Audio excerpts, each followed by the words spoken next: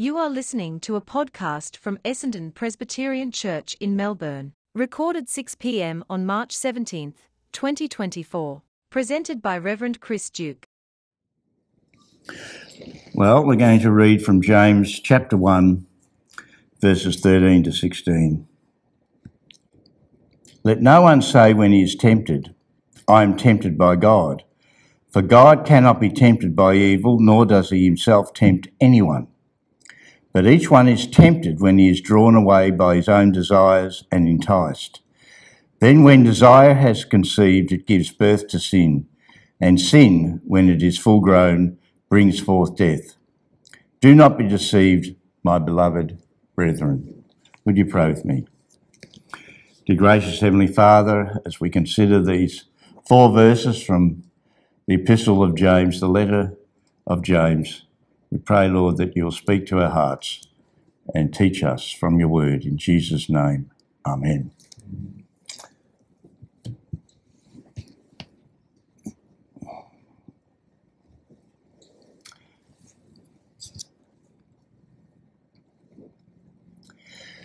A very popular book series that we often encourage our children to read, uh, but is actually probably very good for adults to read is C.S. Lewis's series, The Chronicles of Narnia.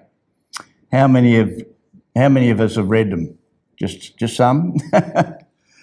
okay, so and if you have read The Chronicles of Narnia, most of you, well, most of you may have seen the recent uh, movies uh, involving that or recent movie.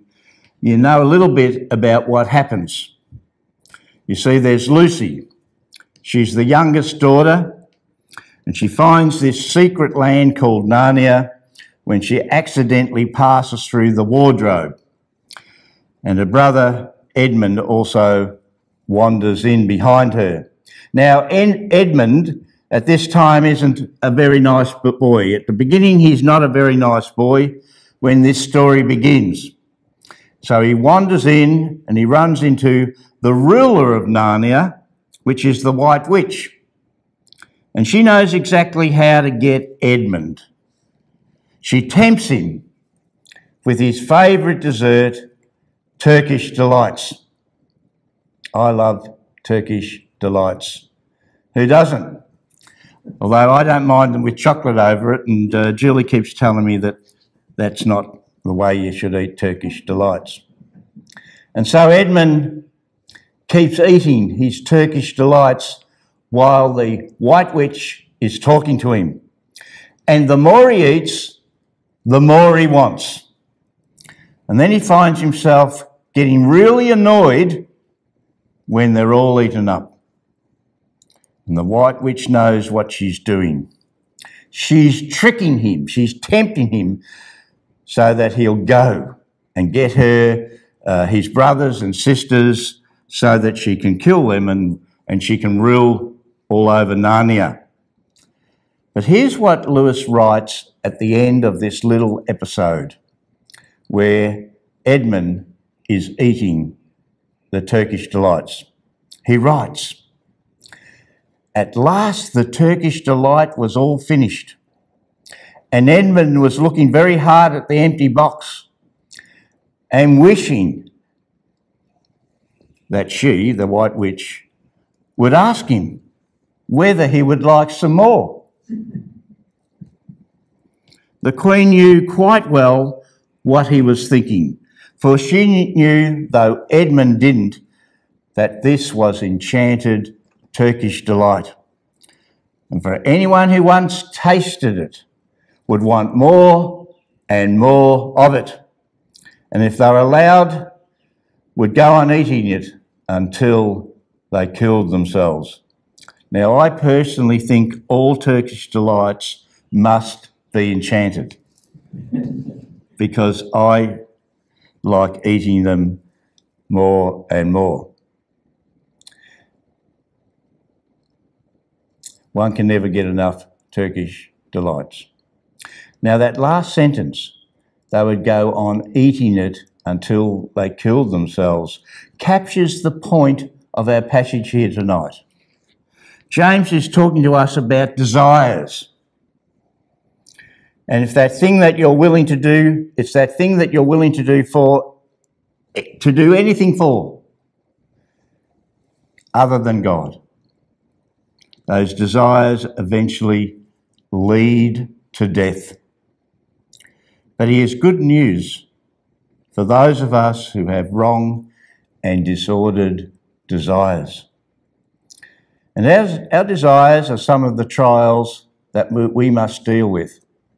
Back in verse 2 in this chapter says, Count it all joy when you fall into various trials. Count it all joy when you fall into various trials. But there's a difference in our passage tonight. That is to blame God and to get angry at God. And so, what I want us to see from this passage is that we will either serve our desires or will come to serve God. Therefore, our sinful desires are our number one problem. They're our biggest problem. In verse 13, it says, Let no one say when he is tempted, I am tempted by God, for God cannot be tempted by evil, nor does he himself tempt anyone. And James tells us that our natural response when trials comes, when bad things comes, uh, happens in our lives, our natural response is to question God. Very rarely do we just run to Him and say, Thank you, I'm counting this all for joy, dear Lord. No, the first thing we usually ask is why? Why me? And why now? And why does this thing happen to me? Well, it's interesting that it's part of the human condition, isn't it? Every other world religion teaches that if you do enough good, God will reward you. So you do good things. You do good works to put God in your debt, if you like. And therefore you think of God as owing you something. The gospel has nothing to do with this type of thinking. The gospel teaches us that Jesus does all the good that God requires because he himself kept the law perfectly.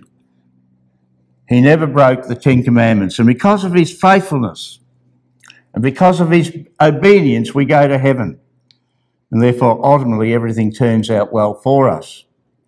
And so, if you believe that God owes you something for the way you live, I've done all this, God. I do all these things.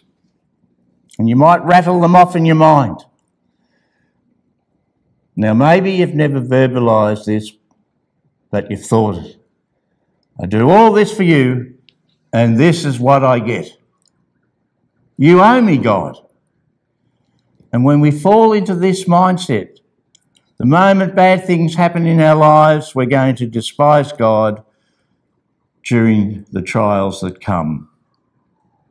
We're not going to count it all for joy. We're going to blame God. We're going to say, You're a bad God. God, you're not doing your part. You're not playing your part. Well, friends, God cannot be tempted. When we fall into this mindset, we've made God to be just like you and I, just like us. We've made him into an idol. We're worshipping and serving what we want not what God has for us. We're saying to God, I know better than you in how to run my life. That's what happens every time we get disappointed during trials. And what James does, and he's a good pastor here, he doesn't just say, well, stop doing that. You know, if uh, a parent, a good parent would say, you know, pull your head in in our Australian vernacular. Stop doing that. He points us to why we shouldn't do that. Look what he says. Let no one say when he is tempted, I am tempted by God. He points us to the character of God. God cannot be tempted by evil, and God tempts no one. So to turn us away from wrong, the wrong views of God, he recalibrates our vision of God here. So James is telling us that it's far from God ever doing evil to us. It's not even within him to do evil. For God is perfect goodness. He's perfect truth. He's perfect beauty. He can never be charged with doing evil. Never does it enter his mind to do evil.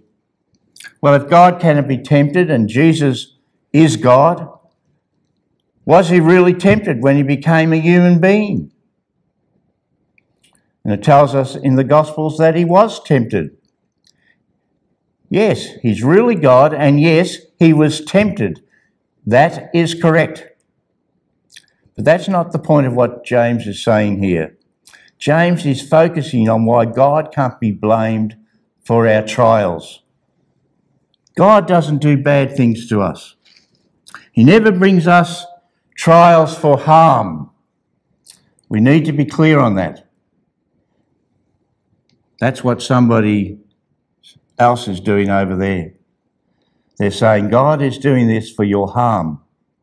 And James says, though, that God doing something for your harm can never enter into his character. Doesn't belong in his, in his being.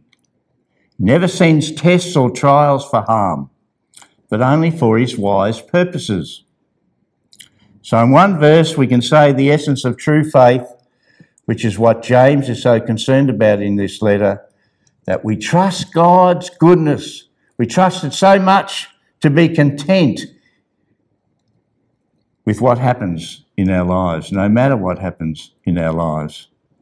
And friends, I know that that's hard to do. When bad things happen, faith holds on to the goodness and the character of God.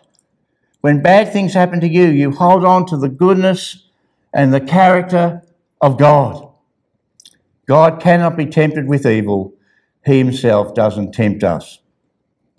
He doesn't have it in his character to do evil to us. And when life is hard, true faith will grip this knowledge.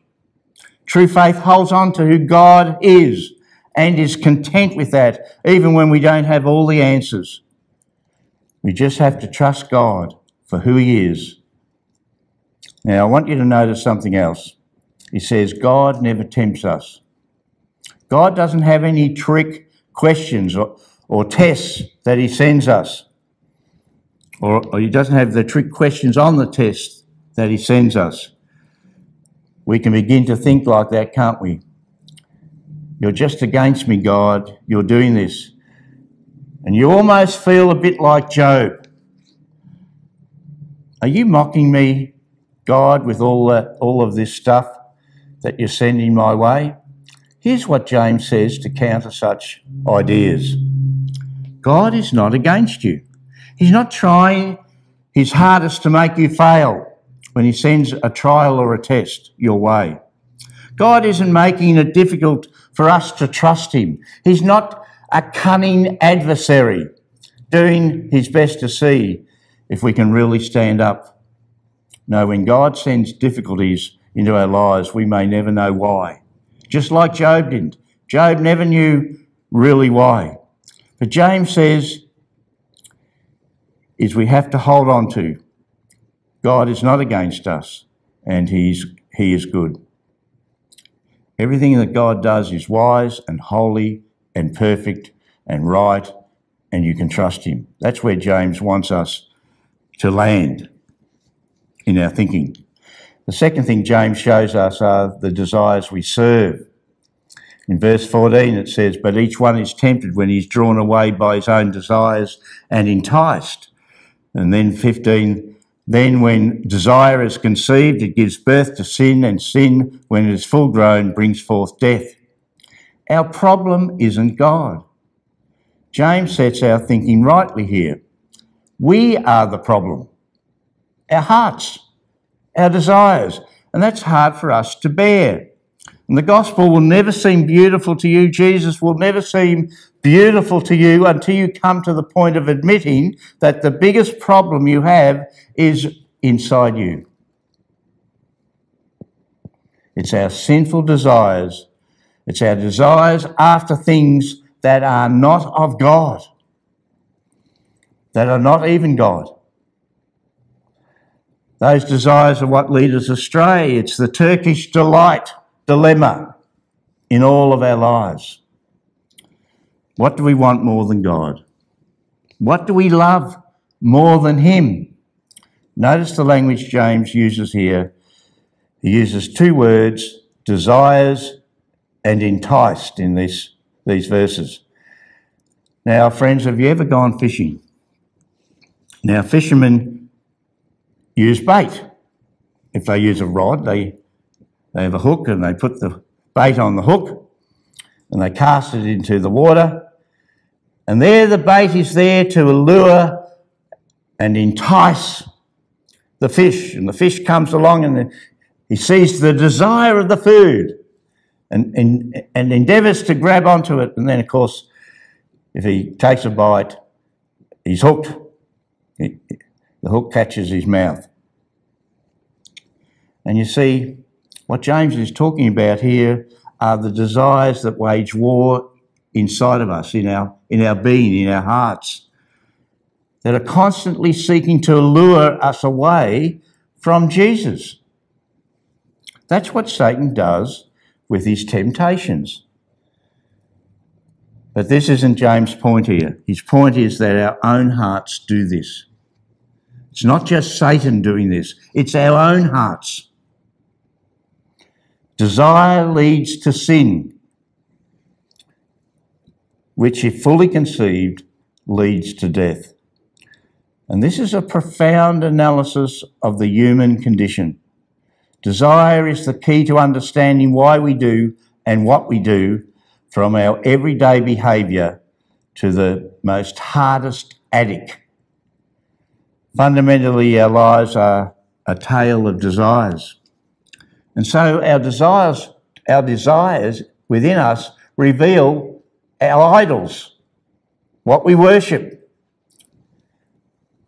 But James says if you walk down the path of desire for anything other than God, your desires become what you live for. So, what's the end of that? And then he says, death. Desires lead to sin, which, if fully conceived, leads to eternal death. It's an eternal separation from the presence of God's blessings and it awaits judgment. Now, some of us here, there are some here who don't have to do this, but some of us here, in fact, most of you don't have to do it, do this. Have you ever tried to diet?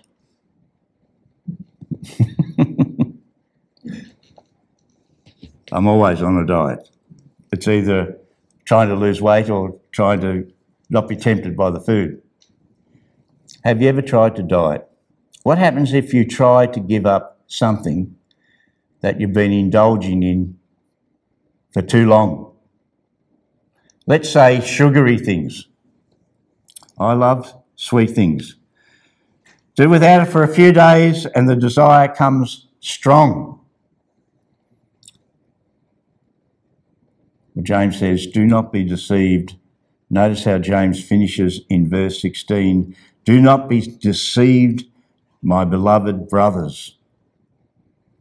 What is the root of wrong desire? Well, it's deception. The thing, the object, the idol that causes us to desire is deceiving us. It's telling us that everything is going to be okay, that it will bring comfort, that it will bring us healing and stability and security. It will make all of our dreams come true. And James says, don't fall for it. You're being hunted. You're being enticed. Don't be deceived by it. That's what James is after here. Deceptive desires bewitches our hearts daily. So what do we do about it? James gives us the prescription here. He gives us the medicine here.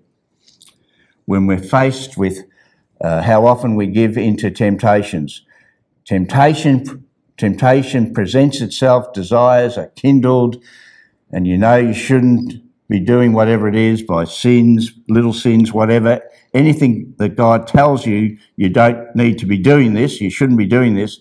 And He tells us that because He loves it, He loves you, He loves us. He tells us this, we shouldn't be doing certain behaviours. And if you're going to go down that road and say, I'm not going to do it, but then you've done it, it can overwhelm you. It can discourage you, even to the point of despair. Yet James reminds you here that you belong to the one, the only one, who's ever perfectly said, Thy will be done. Jesus, by faith and by faith alone in Him, we are united to the one who says, Thy will be done.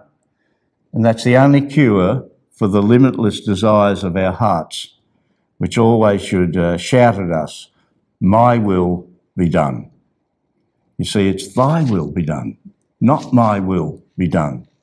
No, you see, friends, we need Jesus, the one who never had unholy desires.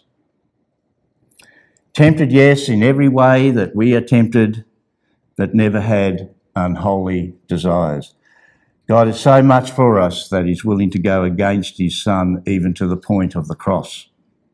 He's willing to go against the one He loved from all eternity and put your sinful desires nailed on that cross, your sinful desires, to give you the only way through out of all your sinful desires.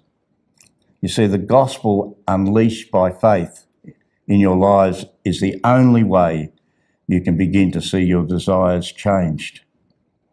Think about it this way Do you realise that Jesus is patiently working to woo us back to himself. He's wooing you back to himself and saying, Don't be deceived by false lovers. Come back to me because I love you better than anybody else. I love you better than anybody else ever can.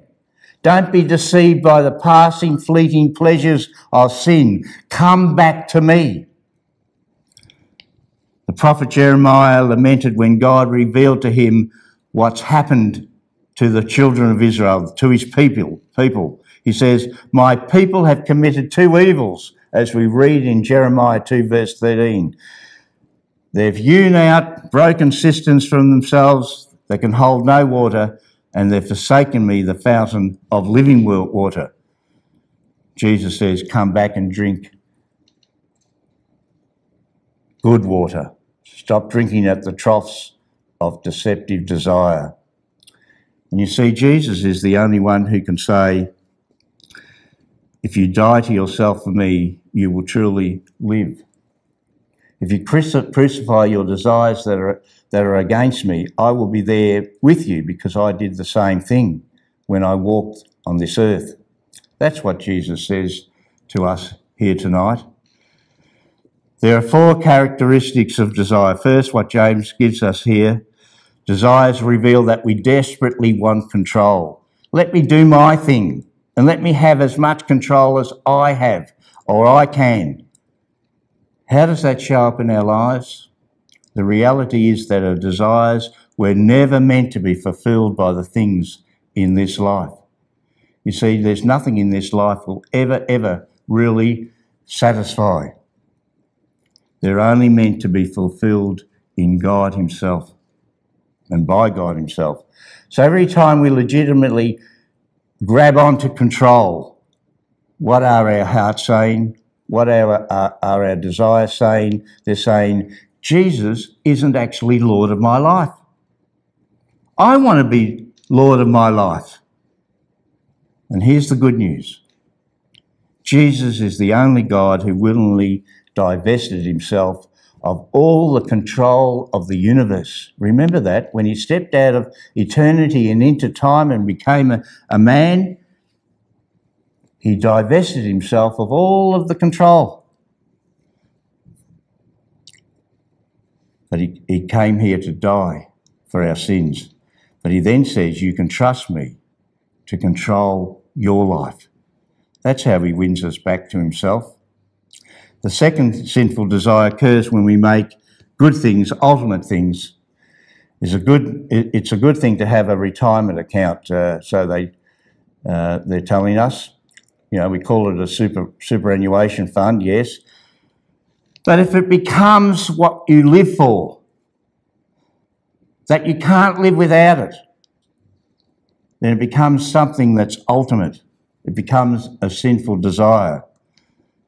What if I lost it right today, this moment? Would that make me seriously consider giving up on life? That's where our desires sometimes can go.